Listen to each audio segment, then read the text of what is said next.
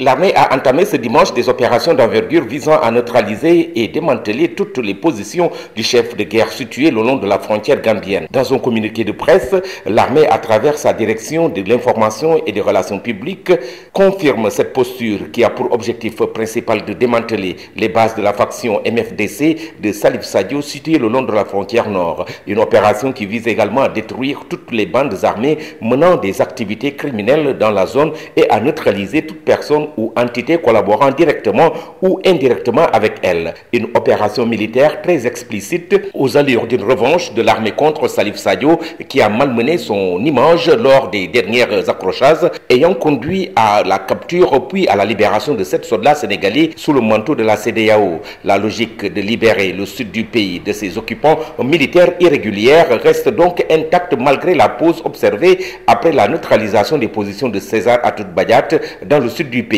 Plusieurs bases rebelles de cette zone du Nord Sindian, dont celle de Tampindour, seraient déjà tombées entre les mains de l'armée. Seulement, faut-il le souligner, des populations des localités gambiennes proches de la frontière sénégalaise ont confié avoir entendu des tirs d'artillerie lourde et d'armes automatiques, ainsi que des explosions. Le village natal de l'ancien président de la Gambie a été atteint par des tirs à l'arme lourde de l'armée sénégalaise, selon un sujet gambien que nous avons joint au téléphone. Ce dernier dit avoir aperçu plusieurs centaines de personnes traverser la frontière pour se refuser dans des localités gambiennes. Une nouvelle situation qui risque de poser sur la table la lancinante question liée aux déplacés de la crise en Casamance. Julien Chor, Amadi Khalilou Djemé pour la radio-télévision Walfadjiri.